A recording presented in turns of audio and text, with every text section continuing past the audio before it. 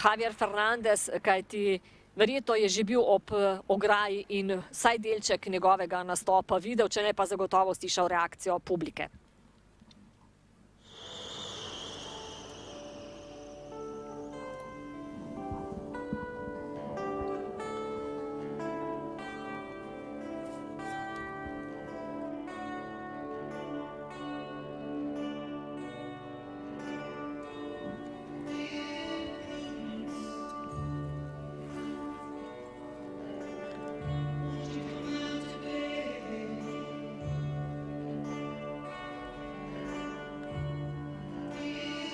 Štirikratni tolub in eh, dvojni tolub.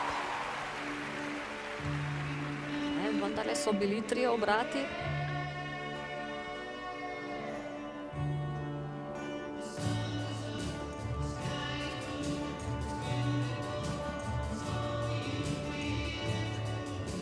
Trojni aksel.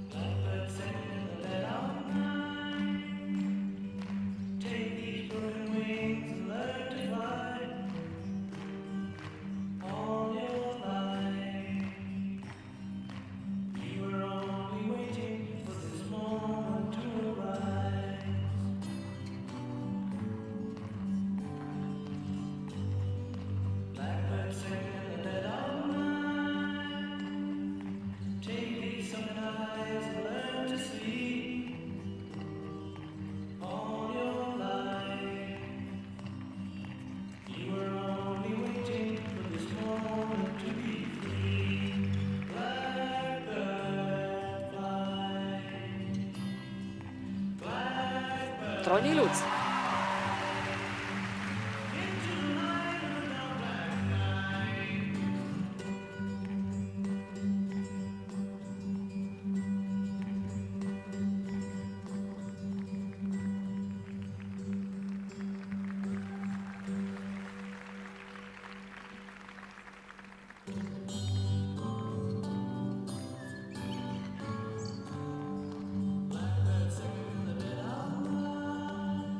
Bitli v ne tako pogosto uporabljeni inačici na ledeni ploskvi.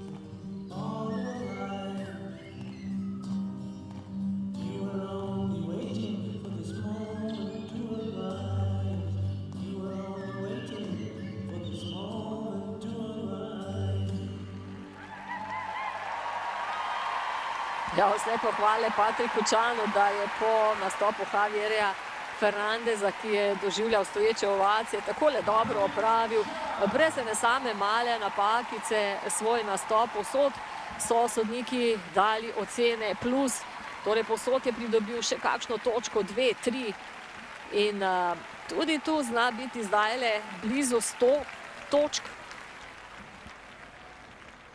Za zdaj sta jih prijela samo Fernandez in Uno.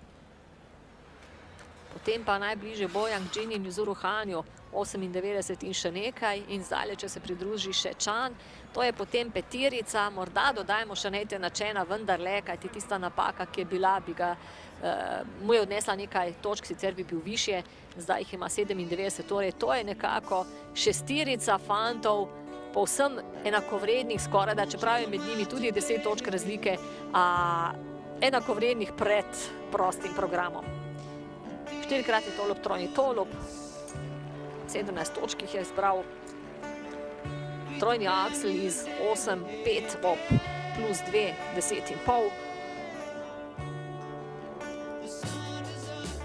In tudi iz Luca je potegnil maksimalno iz 6,6, kolikor je osnovna vrednost skoka, ker je že v drugem delu programa, na koncu potem izkupiček osmih točk tudi pri njemu vse piruete nivoja štiri. Ja, lahkotno, igrivo je drsal Patrik Čan. Takšen, kot ga poznamo, torej po letu dni premora, se je zdaj vrnil. Naredil je sredi lanskega leta spremembo, zamenjal je trenerja, Rezultati v prvem delu sezone so bili obetajoči, odšel je v kemp Marine Zujeve in Olega Epsteina, našel nekako novo energijo, nekaj časa treniral sam, potem pa naredil ta naslednji korak. Vprašal Charlie'a Whitea, olimpijskega prvaka med plesnimi pari, če vpraša Zujevo, ali bi ga vzela in odgovor je bil da, kako ne, tako kvalitetnega drsalca in pogledajte, tretje mesto, 102,13, torej prek 100 točk tudi za te